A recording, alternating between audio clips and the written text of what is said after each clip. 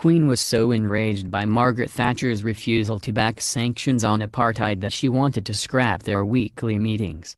The Queen was in a rage with Margaret Thatcher over her refusal to back sanctions against South Africa and considered scrapping their weekly audience, newly declassified files reveal.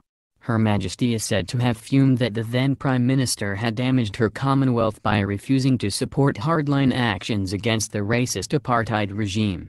Her anger, which apparently erupted after a 1987 Commonwealth Heads of Government Summit, is revealed in official Irish files released under the country's 30-year rule.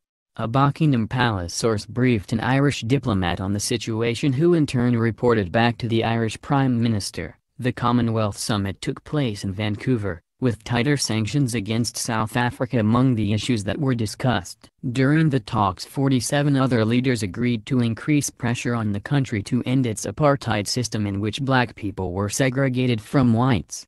But Mrs. Thatcher refused to back the calls to end the discriminatory practice, and Britain was blamed for thwarting the move. The conference ended in bitterness and recriminations among presidents and prime ministers from the former colonies. Mrs. Thatcher was seen as having blundered badly. An Irish diplomat based in London reported back to Dublin that she well knows but cannot admit her mistake. After speaking with a source inside Buckingham Palace, Richard Ryan, a former chargé d'affaires at Ireland's embassy in London, sent a memo to his Prime Minister's office.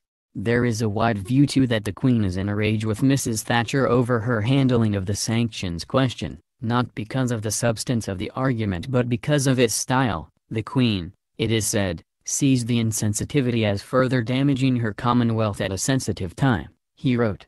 Such was the Queen's anger she considered scrapping her weekly audience with Mrs. Thatcher. The palace source told Mr. Ryan. The Queen can use the audience to express her views on government matters. The diplomat, referring to the Queen as Brenda, a nickname coined by the satirical magazine Private Eye, reported. A source in the palace said that Brenda was seriously considering cancelling last night's Tuesday audience with the Prime Minister.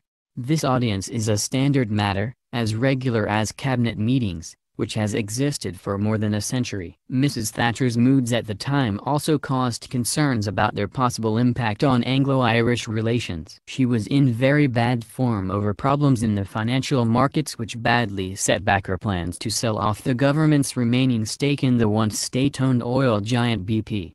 Mr. Ryan warned that difficulties in Dublin-London relations could be worsened in the short term at least by Mrs. Thatcher's present mood. In a footnote, the diplomat suggested that his information on her frame of mind need not be given too much weight but added, we have, though, in the past seen some examples of how the PM's mood can make life more difficult for those around her and doing business with her.